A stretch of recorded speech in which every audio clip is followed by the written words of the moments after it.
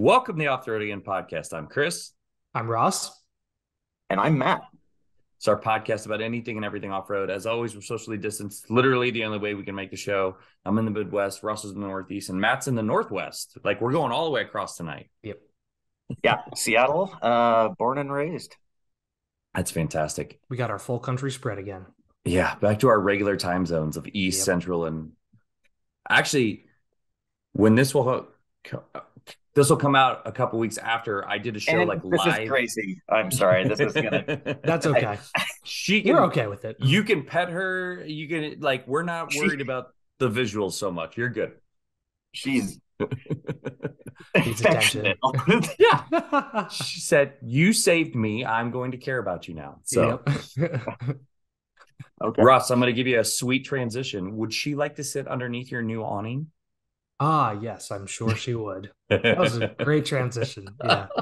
Uh, my only quick update this week is I met up with um, another I hate mutter and bought an awning, bought an Overland Pros 270. Um, it's a you know roof mounted, roof rack mounted awning with poles, and now I just have to figure out how to shit rig it to the top of my truck. nice. Zip ties. I mean, what could possibly go wrong? Yeah. So Yeah. the funny thing, funny thing is, I was on Facebook after uh, after I had you know struck the deal to go pick this up on Sunday, and I was trying to find crossbars for the Lexus, and, and I found a dude who was selling crossbars, and I sent him a message, and we were going back and forth, and I said, "Oh, so what year truck did these come off?" And he said, "Oh five. So I said, "That's not going to work." Sorry. and uh, I'm sorry. and I know. I'm sorry, guys. I really am. This was not No, no. planned. No, no, you're good. I'm I'm Yeah. more laughing at the 05. Oh yeah, yeah. That's wrong, so- wrong GX, wrong Yeah. GX.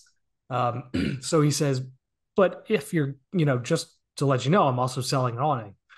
It's like, uh, well, the funny story is I was actually planning to go to Jersey to buy an awning. So I texted my brother and asked my brother if he had any interest. So my brother and I drove down to Jersey on Sunday, and we picked up two awnings. Nice. Yeah, so he's gonna put his on his 4Runner, and uh, yeah, his is- his is a a Foxwing, I think. Okay. It's yeah, it's, It's, like it's a, a little bat bit. wing, but not. Yeah, I think they're all. X- You call them all like the back wing. Star Trek, Star. No, which one is it? That would be Star It Wars. would be Star Wars. I like the Star Trek joke. Uh, yeah. So That's all I got. I got yeah, nerd jokes, uh, bad plays on words. That's all I got. Yep. so that's, that's all I got, Chris. completely what we're used to. Yeah, um, I, I have my, nothing else interesting. My only update, and I don't think we've talked about it on the show. I don't think we've even We have not. hinted at this. Is I bought a Lexus G uh, LX 470, not a GX. I was yes. I was GX shopping. Yes. Um, and we were we were talk, contemplating getting my wife a new vehicle uh because she has a 2008 Sequoia um that I just added a lot of marks to, but that we'll have talked about that previously. Uh Yeah. we haven't recorded Everybody it yet, but it will know. come out before this. Yeah. Um so we found this one locally um 2000 200,000 miles on it. Uh timing belt and water pump has just been done in the last like 800 to 1000 miles. Nice. Um, KMC wheels, a little bit oversized, Toyo Open Country AT3s, a tire we're, we are very familiar with and comfortable using. Yeah. I just brutalized the state of Utah with my set on the Sequoia. Um, it's got a two inch Ironman lift underneath it. The AHC has been disconnected, so I don't have to worry about that failure. nice. Ooh, good call. It still has the Okay. stock radio. Running board 'cause- delete. uh, running board delete, and I'll eventually will add sliders. Needs 'em. Um, Mhm. yeah, it needs some sliders there, and obviously it has the Victory roof rack already, and then the grill's been blacked out, and the rear badge has been blacked out as well. Um, all things said, it it is in great shape for the cost we got it at. Was just it it almost feels like a steal. Um, It looks clean. but it's it's got some little finicky things like some interior trim pieces. One of the license plate lights uh isn't staying in the housing but like small things that can be adjusted over time. Um my wife has ch- chosen not to daily it. She's actually gonna let this be our 14 year old's first vehicle when he starts getting his restricted license later this summer. We're gonna start driving to school and work on his own. So um That's I a like hell it. truck to start with. yeah i was like it's way better than Hell what for start. yeah i did not have anything nearly that cool so um yeah and hopefully i will keep using the Sequoia to do off roady things since it's the one that's already armored up. So, but mm-hmm. it's all wheel drive. I love it. It just is great. So cool. We hadn't talked about on the show yet, so that's my little update. And now we can talk about Matt. yeah, let's do it.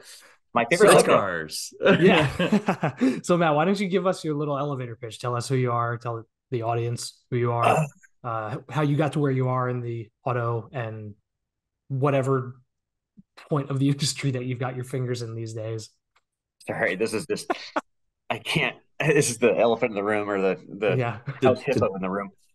Um, no, uh, I don't know. I from Seattle originally. Uh, I've lived all over the world, traveled extensively, but cars have always been the the focal point.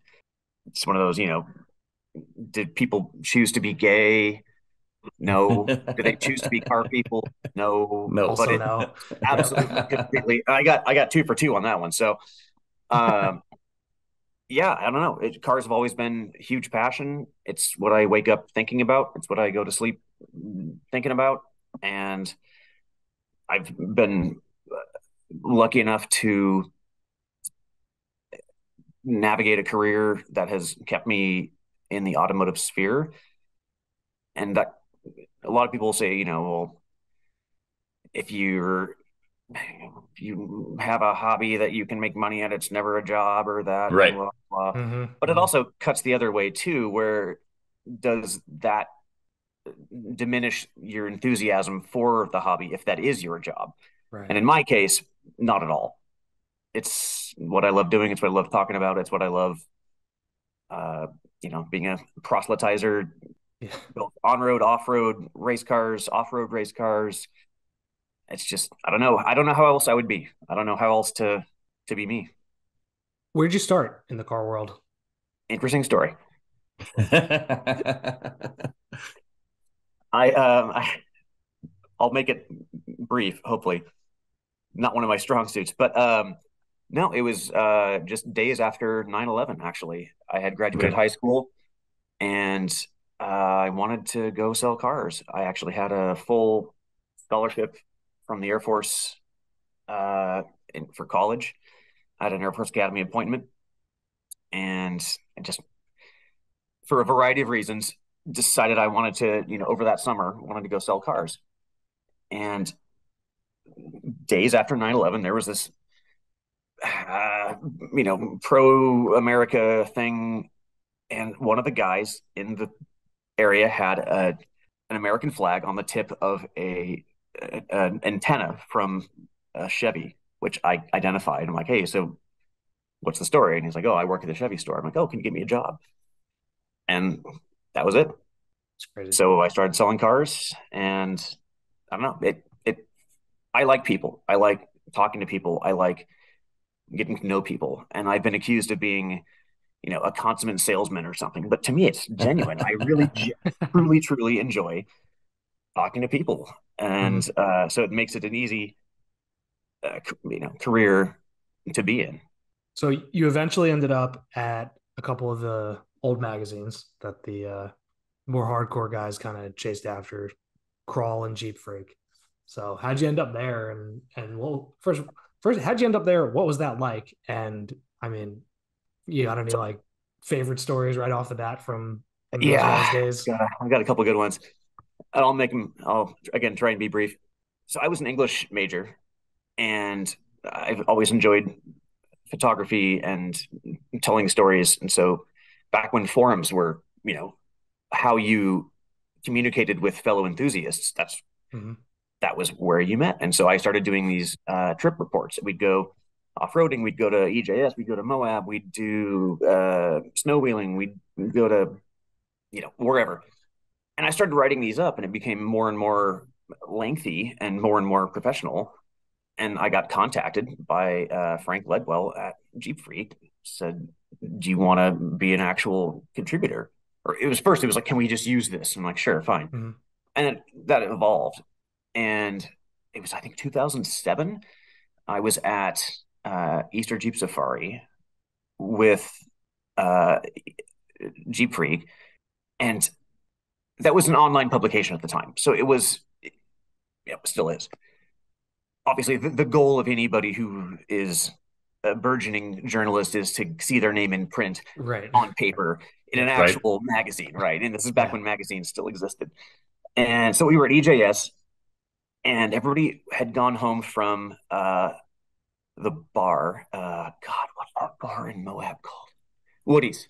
Woody's I Tavern. would say there's not a lot. So Yeah. Woody's, Woody's Tavern. And back then, you had to have a membership.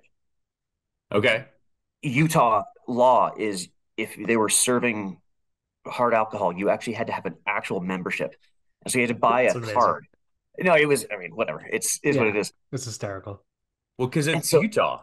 Like right Because Utah, right? oh here's Yeah. your 3.5% beer i don't know why they're from minnesota but And you can't have doubles. You have to have a separate whatever.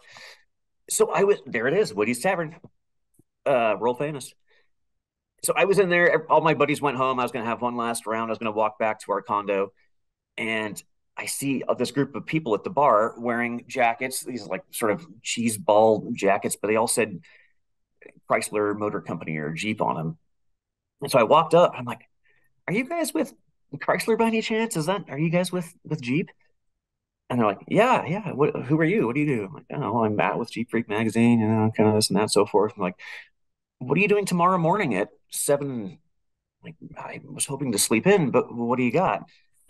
was the it was the Mopar Underground uh, Chrysler uh, you know release of their all the prototypes, wow and that was the very first time they showed the JT, which was the concept that eventually turned into what we know as the Gladiator today. yep And uh, I was one of the first people on the planet to drive it and shoot it. And I came back to the condo and I'm like, oh man, you wouldn't believe what just happened.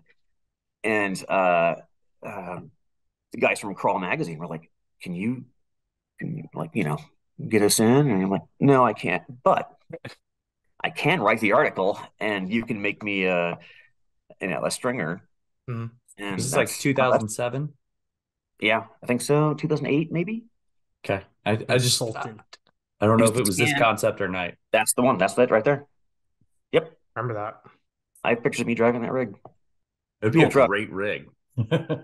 seriously how many people have built trucks like that since Well, uh, I mean, you know, of course, the the Brute AEV Yep. did, Yep. um, you know, Yep. that was and the jk8 kit that mopar did which I compared to the AEV, it was a Well, the Right. difference is that AEV's building the brutes and people who have probably never put one together on the JK8 are putting them together for the first time.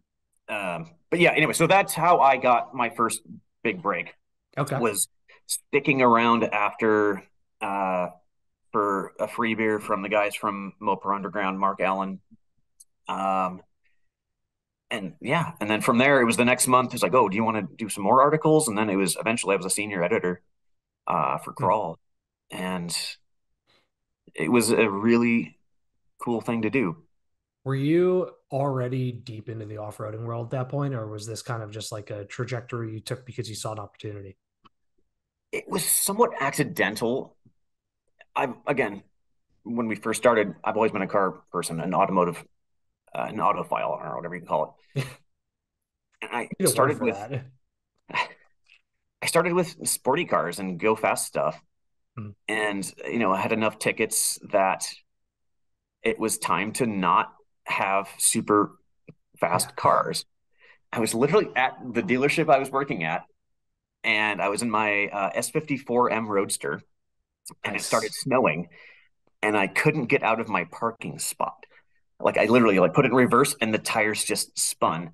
And earlier that day, I had taken in trade a 1994 white two door Jeep Cherokee, and I'm like, oh shit, I'll just take this home tonight, and you know, just get Mhm. and able to get home. And I fell in love with it. Like it was, it was nimble. It was light. It was five speed manual, four liter two door. It was a delight. It was a super fun car to drive. Yeah. And so then I started Googling like, what can you do to a Jeep Cherokee? And oh my gosh, you can actually take them off road. And so I became an off road guy. And uh, so I've bounced back and forth between road racing, sporty car stuff, and Mhm. uh, off road. And I, I've decided that both are fun enough that I don't need to choose one. Yeah, that's I'm just sharing your whole Instagram profile because it's fantastic because it's literally like off-road stuff mixed with sporty cars like all over the place. Yep. Like this image by itself. Perfect. Yeah. Right. That, that That's that's a- my my two car solution currently. Uh, the red car is a S50 M3 swapped uh, E30, and then my LC 100. Obviously, it's you know fairly fairly built. Really, really big fan of those. I I, Yeah. I think I might buy one. You you should. I'd recommend a white one, maybe a Lexus. Uh, you know, if, Yeah, if I had my I- druthers. That's I personally do enjoy the Lexus front end better, but that's just me. I never did Same. until lately, and now I'm like, hmm. uh. the thing And I is, had a GX, I had a, I had a GX 470 uh, before, and Okay. I liked that a lot. But I'm sorry, Ross, but the Land Cruiser is so much better. It's just what uh, is? The the Cruiser is. Oh, oh, I, dude, I like it so much more. You don't have I'm to sorry. apologize. I know. Is that the If, uh, GX? I yeah, that's the Jeeks. Yeah, we we called it a Jeeks uh, because I've always been a Jeep person. Historically, I'm known for being a Jeep guy, but so yeah, yeah, that was the Jeeks. Uh, that's what it became known as. kind of like that. How, all right. So, how does taking a two door XJ home eventually find its way into building a full on Lemons race car out of out of an XJ? To clarify for anybody who's actually you know questioning things here. Well, so the thing about the the XJ it, in its stock form weighs twenty nine hundred pounds. It's a unibody. It's rear wheel drive. You can buy them stock as two wheel drive. Mhm. That's a fairly reasonable formula for a, a Hmm. decent, inexpensive, Yep. dead nuts reliable car. And so for an endurance racing series that has a five hundred dollar budget cap, that sounds like a perfect recipe. And That so I went and found a two hundred dollar one. Oh, the good old days. Right? Jeez. Uh, yeah, put a paint job on it and a roll cage and wheels and tires, and remarkably good. That's crazy. I mean, the pictures of those things that you've done on the track, it, it looks so silly, but It looks Like- amazing. What are you talking about? There's nothing silly about that. It's Coming onto the front amazing. straight at Laguna Seca, crossed up sideways in the rain. yeah, Yeah. yeah. Liter LS and a T56. Uh, it evolved quite a bit from the two hundred dollar drag out of the the weeds into what it has evolved into. And you know, the Mm-hmm. wing is ridiculous. You know, it's obviously, but that's a play on words with petty cash. You know, like not Yeah. much money. Richard Mhm. Petty, Richard Petty. Ricky Yep. Superbird. You know, kind of thing. I love all of this. This is fantastic. It's great. Uh, it's been a huge chunk of my life. For geez, my first race was 09. Oh wow. Same car. It's that's it's wild. a lot. Yeah. Is there? I don't think there's anybody else doing that with XJs. So Not on tarmac. I made the recipe, and there's eight or nine of them Really? that have used my my my setup. And the thing about the two wheel drive XJ is it's a solid front axle Mhm. with no guts. It's just a tube. Just open. Yeah. And so what we've figured out was adding some camber. So we would do offset ball joints, and then uh, ultimately we would notch the tube like a little pie cut, bend it, and then re-weld it so that you had um, some fixed camber. Because otherwise, you just scrape the offside of the, the outside of the tires off Mhm. um, on on the road tracks. But What? Okay, so I guess what are the other teams? What are they generally running for rear axle and diffs and and what's in the LS powered one? we run a 488, which I've had Okay. Huge luck with over the years. Mhm. Yeah, so a 31 spline, uh, 96 Explorer axle, which comes with disc brakes, which is Mhm. another you know Upgrade. Yeah. bonus. Um, and you can get anywhere between uh, 307s to 410 gears stock. Hmm. Um, and they're strong as all get out, and they have limited slips. Right. It's like the just perfect uh, yeah. addition. And so those the Cherokees obviously are sprung over, meaning the axle tube is below the leaf pack. Mm-hmm. And so what we did is we converted them to spring under, uh, which is both to lower it and also to control axle wrap. Um, okay, that makes sense. How, and then we there... just sorry, go. No, I was I was just going to ask if there's any aside from the cage, any other body bracing that you you did to make them you know, it's a unibody. It's not going to flop that much, but yeah, I mean, we time it's, it's a time, you know, you know, a eight, 12 point cage or something, you know, it's, it's significant. And sadly, so this is very, very, very early days. That's before we did the wide body uh, yeah. version. So that was a stock four liter automatic when we first got it. And we gradually adapted it to have a full manual controls because it's an uh, electronically controlled transmission. So basically a full manual valve body, but using solenoids. Uh, so we were able to completely control when the car shifted. And uh, it was also really, it's one of those things people are like, oh, an automatic race car. Yeah, but when you're paying more attention to your braking points and your apex, you're faster than you would be trying to, mm-hmm. you know, heel toe double clutch rev match. Yeah and then you slide off into the weeds. It's, Unless if uh, you have a lot of other track experience in a car with a stick. And if you're sharing a car with four drivers, which is the the formula, and you're relying on people you may not have raced with before. Mm-hmm. I mean, Jim Hall, Chaparral, right? Yep. Those cars were all automatics. Mm-hmm. It's I'm not the only idiot who's done this. I mean, there's two of us that I've now. That's what race cars are now, you know? So, oh, so yeah, yeah, that's Laguna Seca coming across the finish um, with an E30. Do you guys know Bill Caswell? Yes. Yes, we're familiar with that's, Bill. Yes. I don't know him, but I am familiar. Uh-huh. That's uh, Bill was racing that car that weekend. well, Bill tends to and like E30s. We're faster than that car. Dramatically faster. I'm sure he loved that. Bill's a good friend of mine. Um, and yeah, the best thing about the Cherokee, and this is the best thing, is uh, they're virtually indestructible. But at the end of the day, and people are you know in the paddock having a beer, there's no like, oh, what what car were you driving? Oh, the the white BMW. Oh, which right. one? Yeah. uh, no, no, no, that one. I was like, oh yeah, well, the one with the, the sliver. Oh yeah, yeah. Uh, and it's like, hey, what car were you driving? The Jeep holy crap! Yeah. You know, it's um, and that's actually Dave Cole from King of the Hammers getting strapped into that right now. Oh, really? Awesome. Yeah. Do they are these intakes down here? Uh, brake duct. Brake ducts. Brake ducts. Okay. Yeah. Uh, so, do you know? You guys know Pirate Four x Four?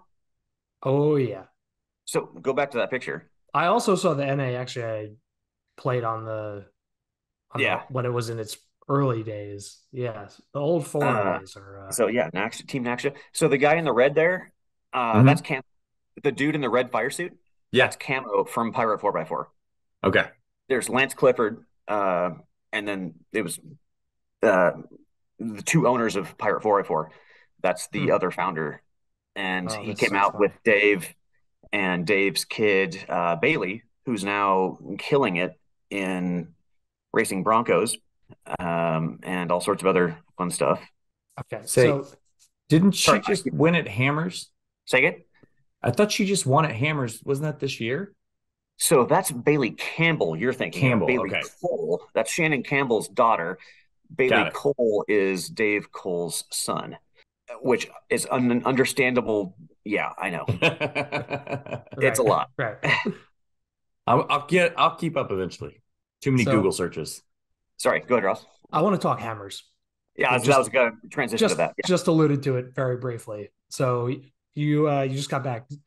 Were you part of a team that was competing, or were you there spectating and and playing around? This year, I had a wild hair and just went down to. When I was a journalist, I went down to King of the Hammers when they released the new Wrangler MTR, uh, the Kevlar. That was what, like 2009 or something, eight. Uh, yeah, a long time ago they, now. The release was in Palm Springs, the week before KOH. And I asked Oh. the the media rep, I'm like, "Do you guys mind if my re- my free return ticket is a week later?" Like, and we don't care. Mhm. So I went and did the MTR release in Johnson Valley, did all their you know press stuff, and then stayed for a few days. Those are the tires, and and I sort of just made my way out to Johnson Valley, and Dave Cole and uh, Jeff Knoll, the two founders of KOH, I sort of wandered up with like a backpack, a, a camera, and nowhere to stay, no food, no nothing. And they're like, "Oh, hey, you, come here." And there was this scissor lift, and we were trying. They were trying to hang the banners on the like the start finish arch, Oh my god. and it was like the what you'd have at a Costco, like, and this is off road. Yeah. And so they had me up 30 feet and they're like, hey, you come here. I'm like, you know, the, the it was utterly terrifying. That's Uh, so I held, I hung the banners, uh, and then they connected me with some uh, some people, and I traded a handle of bourbon for a place to sleep for the week, and that was my first experience with uh, King of the Hammers. And then as Dave started growing the series, he called me and was like, I don't know how to run a, I don't know how to organize a race. I don't know how to do timing and scoring. I don't know how to do all the official stuff. And you're a race car driver. Like, I have a two wheel drive Jeep Cherokee. right. I had more experience. I had more experience, so uh, they brought me on to do like timing and scoring and some of the officiating. Uh, I was eventually the uh, chief tech inspector for the series. I helped write the rule book here and there, and uh, that in twelve years I've been doing that a month at a time. So you show up and there's nothing there. It's a complete empty desert right? and you're in an RV, and then you build the town. We have a survey crew. You know, everything is marked out, and you're literally like drawing out the the map of Hammertown and marking course and everything. Mhm. The infrastructure is it's a hundred thousand people who show up. Yeah. With, this into event. a place with population of zero the week before. Right. It's it's, imposing. Yep. Um. So yeah, that's how I got involved in that. Okay. If you're catching a theme here, it's this accidentally stumbling into. Uh, so uh, yeah. what's anyway. your what's your involvement now? So I am my uh, good friend, and yeah, that's Hammertown. That is completely empty before we get there, and it's completely empty after we get there, or It after is- we leave, rather. Literally, like from an aerial perspective, it is Burning Man for off-roaders. Where Halloween meets gasoline, and yeah, it's Yeah. the the Burning Man reference is a really uh, uh, apropos, I think, in a lot of ways. Very different uh, demographic. Just a little.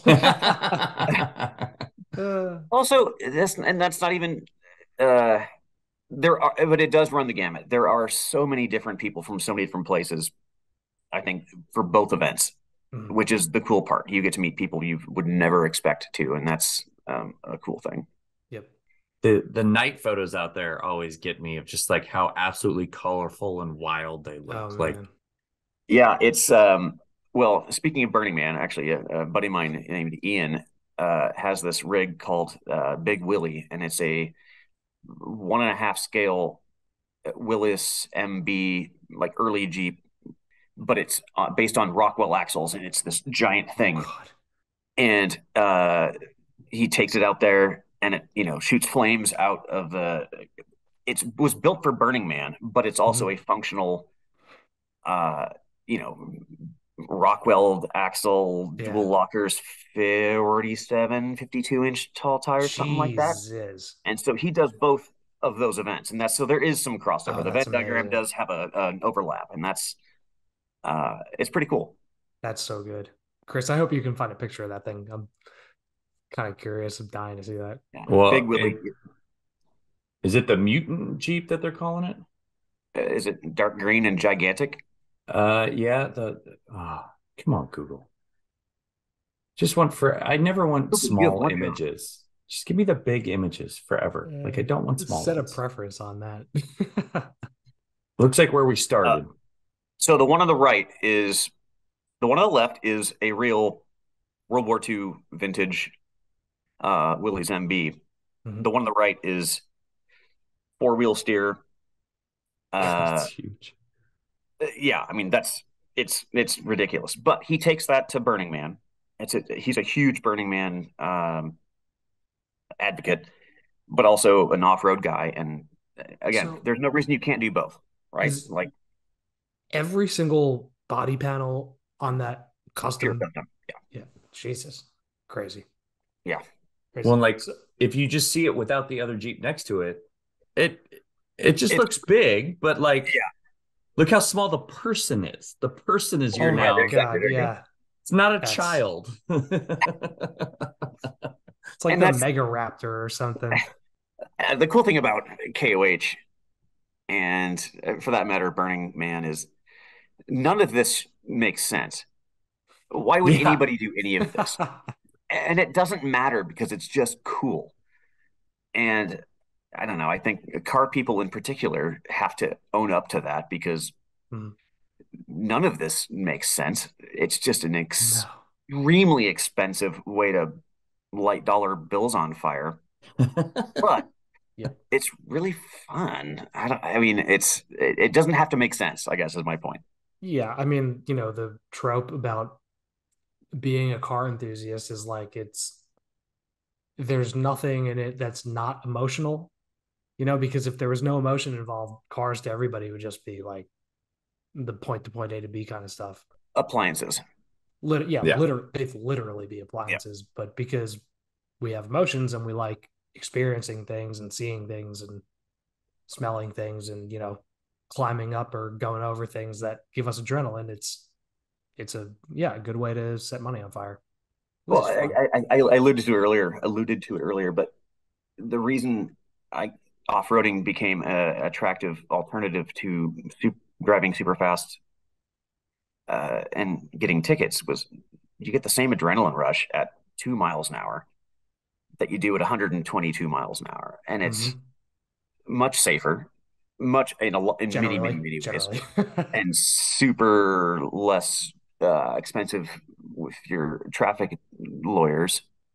I don't know. It's it's a different experience, and you also are out in nature, and it's beautiful, and you're in the mountains, and you go camping with your buddies and your friends, and it, it's a it's a, a lifestyle. I hate that term, but yep. it is a thing, and it's it's addictive, and it's great for the most Mhm. part. For the Uh, most part. well, not having to see Trump flags off the back of uh, UTVs, you know, that's not my uh, particular brand of bourbon. But yeah, Uh, no, no, no. I have actually had a lot of um, a lot of people who have been welcoming to a broad variety of different lifestyles within the off-road world. Mhm. Um, and that's been a, an interesting dynamic, which I'm not trying to make this about that, but both in racing and especially off-road racing, uh, being in the LGBT community, I mean, it's a, a different vibe than anything else. Mhm. Do you- Have you found it to be people are trying to think of how to phrase this? Are, are people just generally unaware of it or uneducated about it? And then like you have to break down that barrier, or is it just sheer ignorance and and once they realize that, you know, opening and acceptance is the better way to live, you get past that. Yeah, and it's again, this is not the focus of your podcast. I totally get it. Hey, we're happy But to it- talk about this stuff. It's, it's important stuff. Um, now I've had incredibly, to me, important interactions with people who had never met a gay person before in their life. Yep. And they certainly had, but they didn't know. And it was that guy who was uh, on the float at a pride parade or something. Like it wasn't a real person. Right. It was a, a facsimile. It was a, Mhm. A, a, comical impression of, and to be able to be an actual person who can turn a wrench, build a race car, it humanizes and makes people understand that it's not the it's not a pride float, right? My life is not a pride float. It is. I'm a real human being. I have a real big boy job. I have uh, a adopted puppy who's snoring like a, a chainsaw now next to me. And we can't hear it, um, which is great. Yeah. I don't have to edit that later. but I like I like race cars. I like uh, uh, action movies and guns, and I mean, I it, it's not a binary one or the other kind of thing. Mm-hmm. And I've had a lot of really important interactions. I feel like with people who have called me or messaged me or emailed or whatever later saying, yeah, my my little brother just told me he was gay, and I would not have known how to handle it if I hadn't mm-hmm. had some interactions with with you. And right. again, I'm not trying to like take credit for any of that stuff, but it's it's it's good to see people out of the cliche. Uh, you know, I'm not here to your fashion designer, fat, you know, like yeah. personal shopper, whatever. It's it's good to see that both can exist. Mm-hmm. Yep. Absolutely. And, and, it echoes that, Chris. I think we, we were talking about this on an episode we recorded recently, but everybody has a car experience, and cars. There's a through line that can kind of unify anybody who's had anything to do with them ever and it you know it makes a big world smaller you know and it and whether it's stuff yeah. like this or having other... a common a common uh a common passion a common enthusiasm yeah. you know it's mm-hmm. all of a sudden it becomes less the world becomes less awful when you know you're you're uh, talking all of a sudden you're talking to some random person and you're talking about I just think it's like all right so if you're an airplane guy like you you walk into a bar and you're like you see guys doing the oh, I was, I was right behind them, you know. and then there's the gun guys, and they're like, oh yeah, I was right there. Yeah. And there's bike guys, and they're like, oh yeah, I was right there. And the car mm-hmm. guys, oh, I was right there. We're all the same people. Yeah, you know, and the hand, the, you, you can you knitting people probably have the same, uh, whatever. You know, it's, it's yeah they're at different different bars from us, but yeah, I mean exactly. It's like I was just gonna say they're all Italian because they're all talking with their hands, like the the pizza makers, yeah. but at the end of the day, we're all just people, and we all have yeah. uh, passions. And yeah. I love cars, and that has been my, you know, driving passion. it's a terrible cliche, but yeah. Uh, yeah, sorry, sorry, sorry. I was not even intentional. I'm sorry. Uh, no, it's good. It's good. Um, but yeah, I don't know. Uh, cars are my life. Right now, I am the sales director at a. Uh, we're a very very niche small Porsche shop in the Seattle area. Um, historically, we've been gorgeous things. Whoa. We, yeah, one owner, Irish Green nine twelve. Um, good God. Um, yeah. So nine fourteen. I'm just going to sit here and clip through pictures yeah, now and, because I'm infatuated. I mean, this is what I want. I want a 356. Sorry. Well, you certainly. We... Oh, sorry. No, I was going to say. I only have bug uh, budget for a bug though, so. um, they're the same thing. You've you've posted a lot of pictures of a lot of fast Porsches on your uh, on your social medias, so it's like you didn't want to stay in that world full time, so now it's just the job and like, I was never a Porsche guy until super recently. Uh, well, super recently, but I mean, Porsche's fine, cool, yeah. 911, yeah, yeah. Ass engine, Nazi wagon, blah blah blah. Uh, and I accidentally bought a Boxster about six six years ago. It was too cheap to not buy, mm-hmm. and I found myself just falling in love with it. It was just so good and this sounds like a, a thing rich people would say, like, well, until you have owned one, you really don't understand. Mm, you know, mm, yes, you know, it's this. Silver. Uh, sorry, is that it? Uh, well, that's one of them, but yeah, that's also one of mine. Uh, this is the the launch color, silver over Boxster red leather, which is another one of my kinks. But the color I, or the launch colors? Red interior happens to oh. be one of my uh one of my things. On the same page there, brother. Red Guts work on everything. Facebook page. That's mine. Especially uh, with a gray exterior. Like I love that. Like the contrast is what I'm, yes. I, I dig. For so many, for the last 15 years, it's been black with black interior, white with black interior, silver with black interior, gray. It just it's it's been so mm-hmm. boring, and I think people are really embracing the variety of color combinations, and uh, I am all for it. Pink Porsche. The pink Porsche is the which is currently the cover photo of my Facebook group. Is it nice? is it go. color right is frozen frozen berry metallic, I believe. Yeah. Yep. Yep. That's the word. Um, yep. Speaking of uh, Matt, I uh, met him actually at a Lemons race when he nice. was on the car show. Oh my Adam god! Carolla. Yeah, and disaster. Uh, uh, Dan Neil from Wall Street Dan Journal. Neil. Yeah, and uh, oh god, basketball player, which I don't yeah. follow basketball. John Salley. John Salley. Yeah. yeah. So okay, this is a sports person. John Salley, Good job.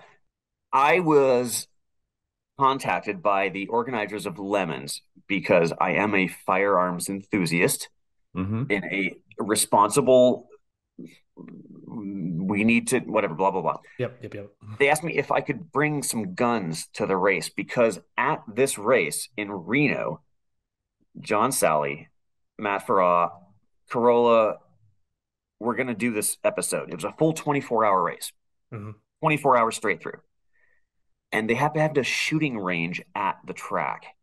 And they thought, wouldn't it be hilarious if the and here's where the uh what if the team drove a car and then it's uh you know we had to shoot it at the end you know this eh, made up uh challenge yep yeah which was totally. and they they wanted to shut the race down for half an hour midway through so that we could stage a thing I mean, just like reality TV uh, like Not overload.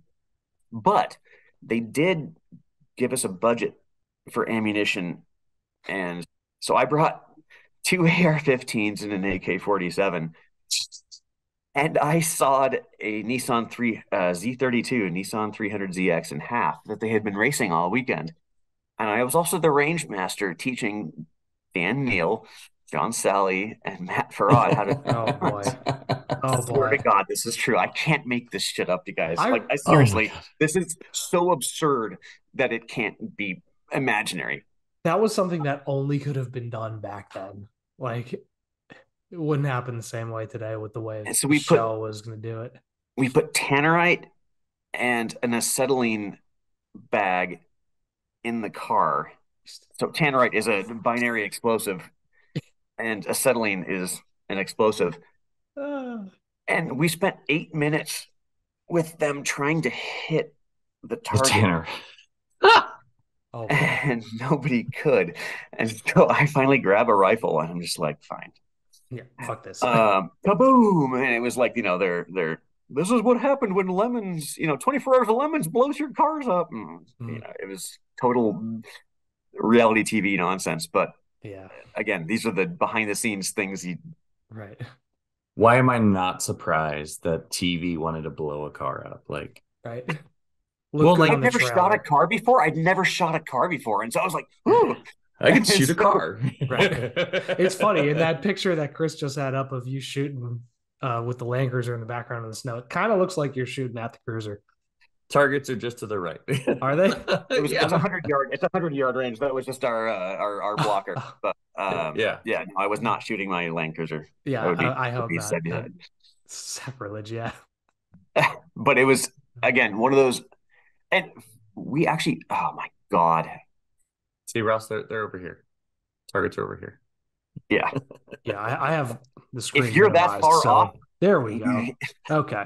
Yeah so that race was a full 24, like I said, and the Reno Fernley Raceway, which is now uh, no longer existing, is near the Mustang Ranch, which is a whorehouse, right? A legal brothel, and they put some of the gals up in the corner stations in the middle of the night when it was actually snowing, and also it's a open range, literally like a where wild Mustangs, and I'm not talking about the cars. I'm talking about the horses. So th- in the drivers' meeting, it's look out for must uh, horsey horses, and also, it, it- so it was snowing. I was looking out for Mustang horses and gals from the Mustang Ranch in the corner stations in a Jeep Cherokee after having shot a car into half. It was just, it's the most ridiculous thing. And it was literally snowing. Um, we won that race. We won the grand prize. I did not have enough money to get home had we not won. So we were able to actually sleep in a hotel that night Ooh. uh, on the tow home. So I don't know, man. I'm not. I, I can't. I can't make like- this shit up. That's just utter madness. so yeah. Anyway, that's that's me in a nutshell. That's fucking funny. Chris, where do you want to go from there? I don't even know where to go from there. I I, I want to go back to the old Porsches. Can we do that? Yeah, that probably would be uh, more beneficial towards my you know future employment and stuff. yeah. So I went on the show and I didn't plug the yeah. job. the thing, yeah. So I'm basically, old bullshit from 15 years ago. any generation of Porsche shows up. Uh, so we right now literally have anything from uh the very first. Oh my Jesus. Okay. Well, I guess we're doing this.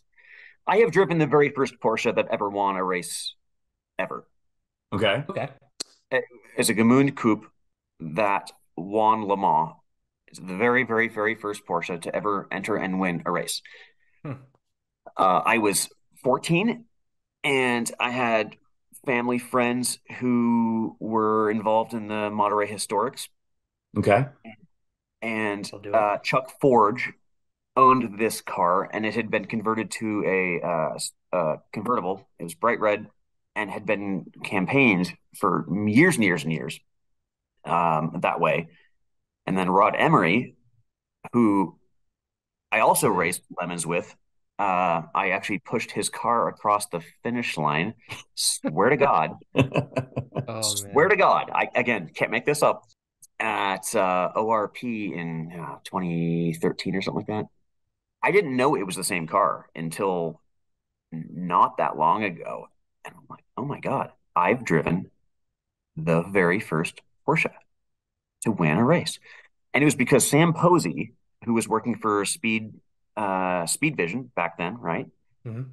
uh, needed it moved so we could push El Caballo out of its pit space next to the other car. And so Chuck's like, hey, hop in and just pull it forward.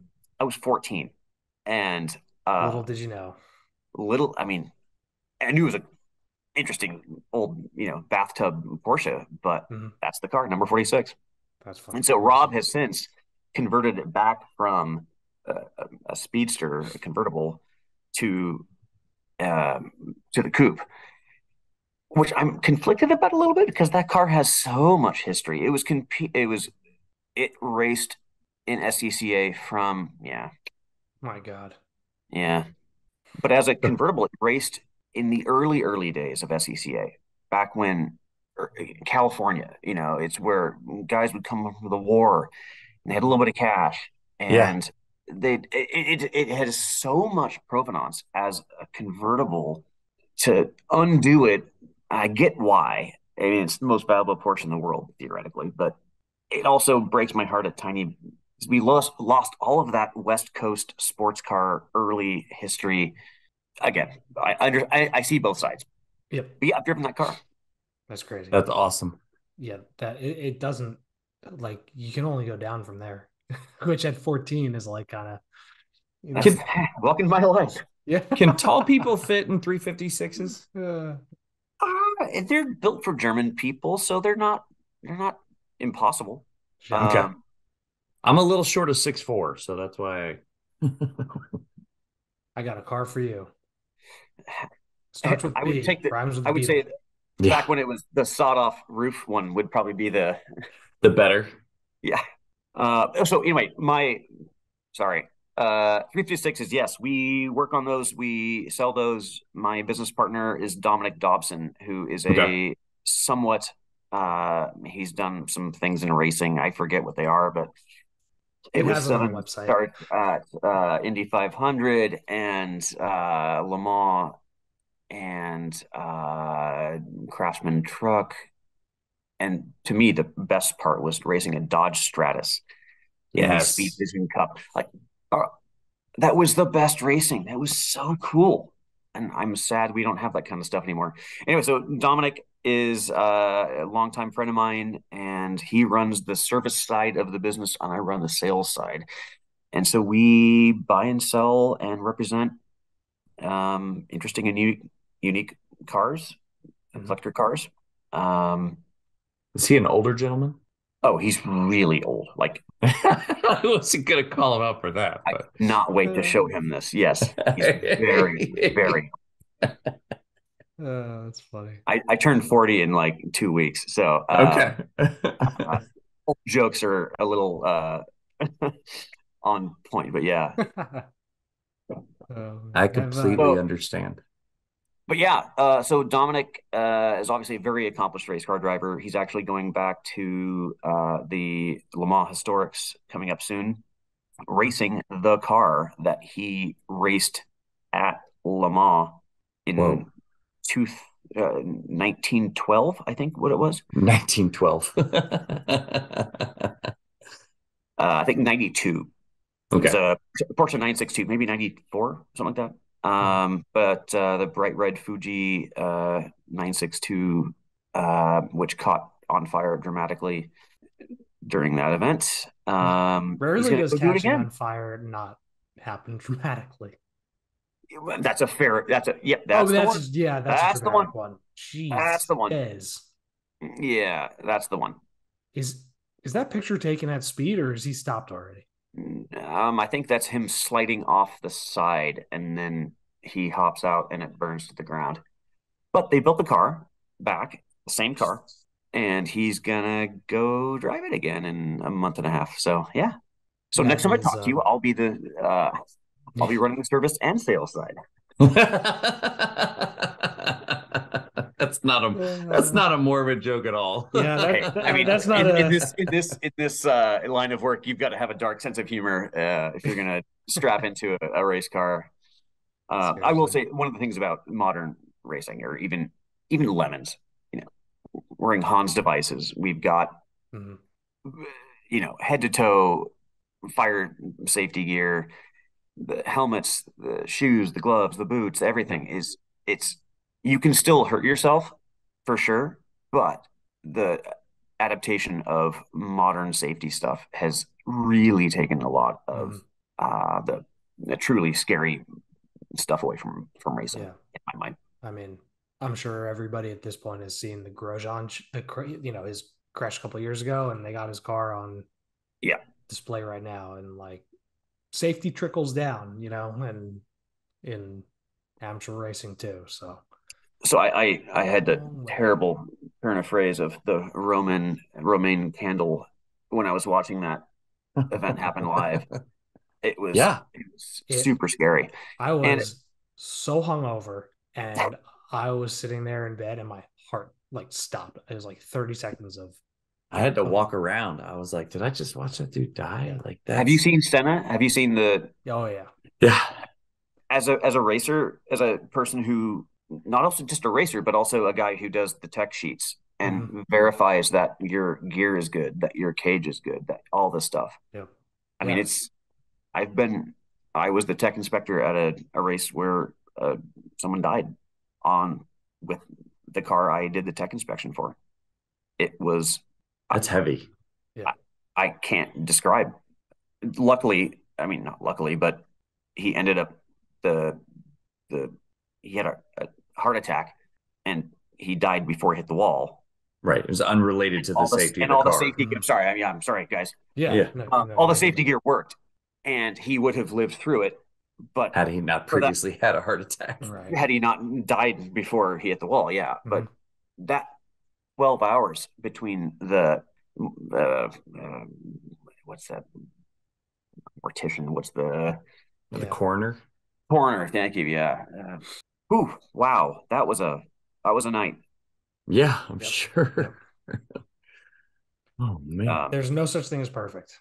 You can Well, you just you do the best you can. You try real hard, and you know. And I was a huge uh, advocate for King of the Hammers of adopting some safety stuff from the road racing world, Mhm. and nobody wanted it. I got so much pushback.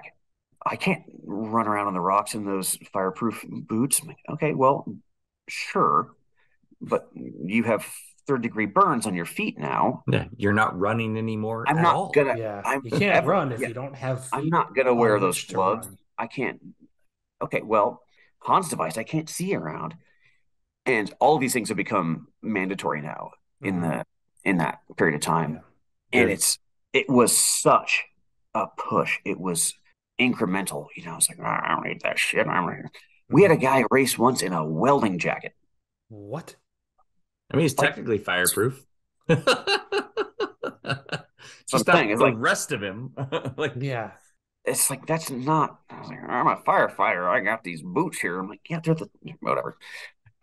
It's fireproof, but it only goes down to like yeah, it goes to my my my rib cage. right. That's not a fire suit, important dude. below That's not a rib fire cage. suit, homie. You're not gonna work. Uh, fun fact: your dick is not Yeah. fireproof. I don't want to know how Ross knows that. Yeah, that's a. We'll leave that one for the next episode. Mm, Yeah, that's a different show. Yep. Very different show. Christ, Um, I can't believe I said that out loud. I know. I was like, uh, and you left the door open to the next joke. Like, I just Seriously. anyway. That was a, a Um, softball underhanded, right? Exactly. It was. He said it on the tee. Oh, man. Well, Ross, we've kind of gone through your your deadline. Yeah. Yep.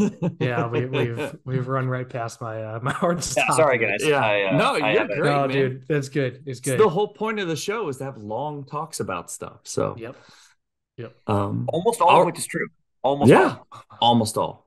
Dick part. I don't know the if your dick's flammable or not. I'm not sure if that's that could be true. Could be not Oh, true. yeah.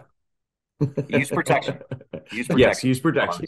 Fire safety. Fire safety. Oh, fire! Yeah, All the way fire, around. Fire suits. Uh, oh man, I'll wrap it up real fast. You can I wasn't rate expecting review. to go there. Yeah, you can rate review the show wherever you listen to podcasts. Some people might not be tuning in again after Yep. this. We just scared the last of our listeners away. the one. Um, Uh, do us a favor, like and subscribe on YouTube. Follow us on Spotify. Spotify actually tells us how many people follow. That's a very nice number to see and then talk to potential advertisers with. So you can follow Matt on Instagram at Petty Cash Racing. Uh, definitely find him on Facebook as well. I'm sure Gracie's gonna have her own page eventually. Oh yeah. uh, you can follow Hooniverse, the Hooniverse on Twitter, the real Hooniverse on Instagram. Is Twitter still a thing? I went five days without logging into my Twitter account while I was on that Utah trip, and I don't know that I ever need to get back into it. fucking Um, probably not, especially right now. And Ross Yeah, is especially right now. yeah, Ross is no not like the one from Friends on Instagram, and I'm at Overlanding Dad, and we did it. We did a show. Thank you, Matt. thanks, Matt. Hey, Matt. it worked. Worked. works. Yes. Despite Gracie's best efforts in the beginning there. dude, But she took a uh, sweet nap. Yeah, she uh she's she's a sweet pup and you know, I I'm on the board of directors for a uh a charity for homeless youth and it was like saw this cute puppers and I'm like I can't be a hypocrite. Come on, she needs a she needs a home too. So Yeah, She uh, looks like she's taken pretty well to you after two days. You know, some some dogs after two days would be a, li- a little skittish and, and whatnot. she just definitely wants uh all the loves, all the attention. Yep. She loves a Land Cruiser. see, that's all perfect She's all about it.